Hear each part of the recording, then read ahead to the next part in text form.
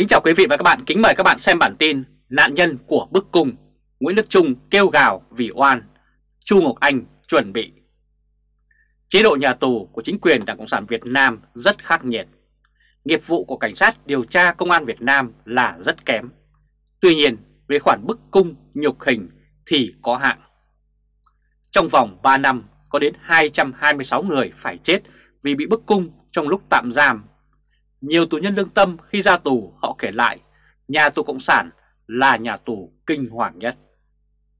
Ông Nguyễn Đức Trung từng là chủ tịch Ủy ban Nhân dân thành phố Hà Nội và từng là giám đốc công an cũng của thành phố này. Ông ta hiểu hơn ai hết nhà tù ông ta ở là nhà tù như thế nào. Những bản bức cung luôn là những bản án oan, sai lệch. Những người mà thấp cổ bé họng thì không bao giờ có thể kêu oan được. Trừ trường hợp hung thủ thực sự đầu thú. Vụ Hàn Đức Long và Nguyễn Thanh Trấn là hiếm hoi được minh oan.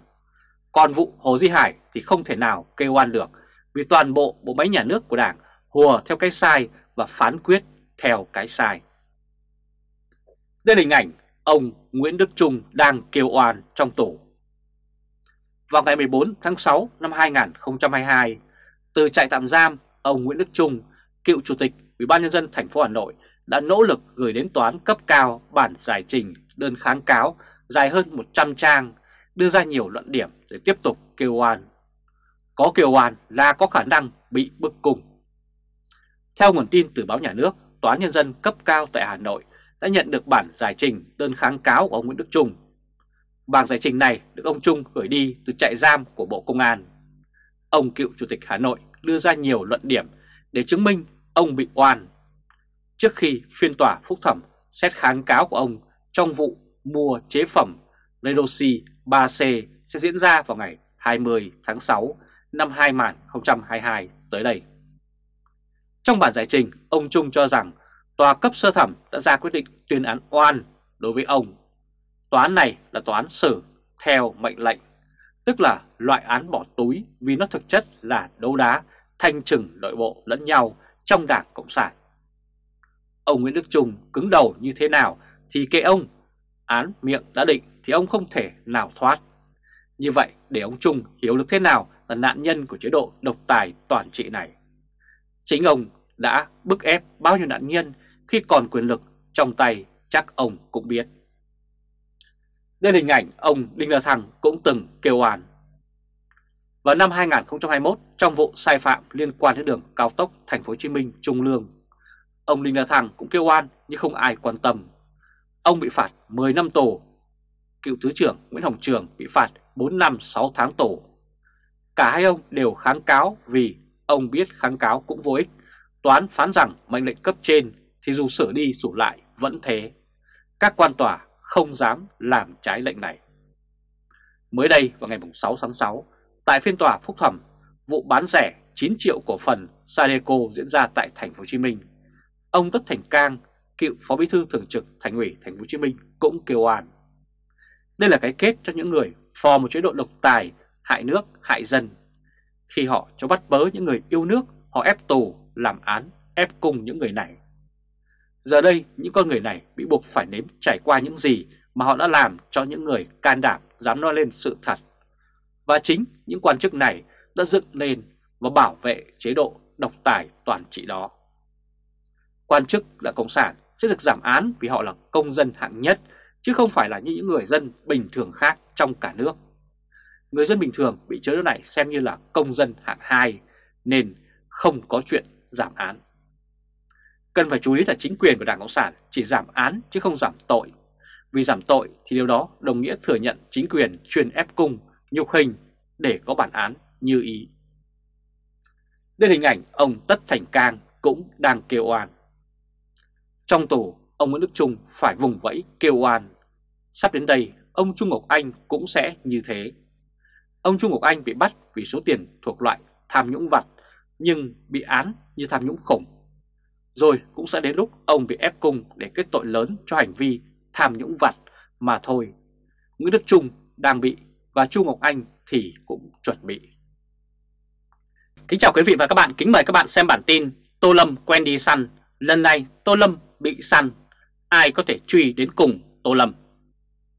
Ông Tô Lâm là một tướng có rất nhiều vấn đề để phải bàn. Với chính quyền của Đảng Cộng sản Việt Nam, ông ta là một bộ trưởng, một ủy viên Bộ Chính trị đầy quyền lực.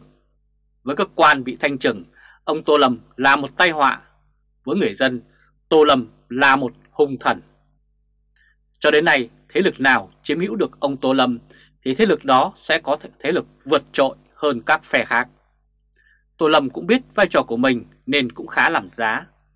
Không hẳn ngả về phe trọng và cũng không hẳn ngả về phe chính. Không chống ai ra mặt và cũng không phục tùng ai vô điều kiện. Đấy là bản chất của ông Tô Lâm. Đây là hình ảnh hai người mới vừa dính lưới ông Tô Lâm. Từ sau khi từ Mỹ trở về, Tô Lâm vắng mặt và bị đồn là bị trọng bệnh. Nhưng thực chất thì ông ta đang chuẩn bị bung lưới vây bắt cá lớn cho ông Nguyễn Phú Trọng. Đến chừng ông Tô Lâm xuất hiện thì mọi kế hoạch xem như đã xong và lần lượt hai con cá lớn nhất trong chiến dịch vây bắt đã dính lưới. Đó là Chu Ngọc Anh và Nguyễn Thành Long. Chiến dịch này, ông Tô Lâm vẫn trở về vị trí làm cánh tay đắc lực cho ông Nguyễn Phú Trọng. Có thể nói hiện nay Tô Lâm khi xuất hiện ở đâu thì các quan chức dính chàm run rẩy đến đấy.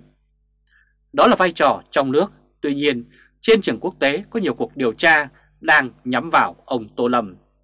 Và rất có thể vụ án kết thúc Tô Lâm sẽ bị cảnh sát quốc tế Interpol chú ý hoặc rất có thể tên của Tô Lâm sẽ được bêu trong danh sách truy nã quốc tế của một số nước nào đó. Trong những ngày sắp tới, phiên tòa xét xử thêm một người Việt Nam bị cáo buộc là mật vụ tham gia bắt cóc ông Trịnh Xuân thành dự kiến sẽ diễn ra ở Berlin. Khi đó, một lần nữa các bằng chứng cho thấy chính quyền Việt Nam là chủ mưu của vụ án này sẽ được đưa ra trước tòa. Được biết, vụ chính quyền Việt Nam tổ chức bắt cóc ông Trịnh Xuân Thành vào tháng 7 năm 2017 là một vấn đề được đề cập trong phiên tòa đầu tiên xét xử ông Nguyễn Hải Long, một trong những diễn viên đã góp tay thực hiện vụ bắt cóc này cho mật vụ Việt Nam và Đại sứ quán Việt Nam tại Berlin cũng như Bộ Công an Việt Nam.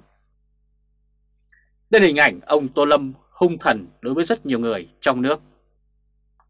Luật sư người Đức nhận định cho phiên tòa này đã đưa ra nhiều bằng chứng cho thấy vụ bắt cóc này được thực hiện bởi chính quyền Việt Nam.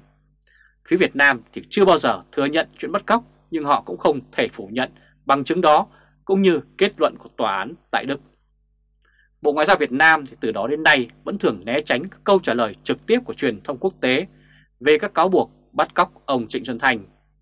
Thay vào đó, người phát ngôn của Bộ Ngoại giao là bà Lê Thị Thu Hằng chỉ nói chung chung rằng ông Trịnh Trấn Thành vi phạm pháp luật Việt Nam đã bị đưa ra xét xử công khai theo đúng quy định của pháp luật Việt Nam và hiện đang trong quá trình thi hành án.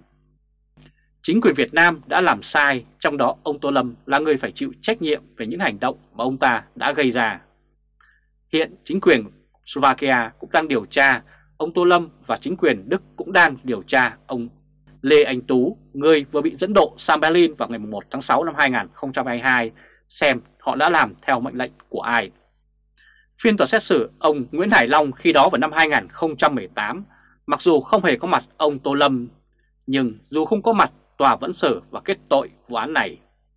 Được biết đây là một vụ việc rất nghiêm trọng với việc bắt cóc nên phía Đức sẽ không bỏ qua và điều đó cho thấy họ sẽ thực hiện đến cùng vụ án này và truy tố tất cả các tên tội phạm trong đó. Có rất nhiều người trực tiếp tham gia tại Bộ Công an Việt Nam mà người đứng đầu là ông Tô Lâm. Đây là hình ảnh ông Tô Lâm được cho làm người chủ mưu vụ bắt cóc này. Trong nước ông Tô Lâm đang đi săn nhưng ở ngoài nước ông Tô Lâm đang bị săn. Có đến hai thợ săn thiện chiến, đó là tòa án Slovakia và tòa án Đức. Khi vụ án này kết thúc, rất có thể ông Tô Lâm sẽ không có cơ hội ra nước ngoài ăn thịt bò rát vàng như vào năm 2021 ông ta đã làm. Các nước tiến bộ, luật pháp của họ nghiêm minh và sự liên kết dẫn độ của họ quy định rất chặt chẽ. Tô Lâm vốn thích ăn những món xa xỉ trên thế giới, xem ra mơ ước của Tô Lâm có thể bị lệnh truy nã quốc tế chặn lại.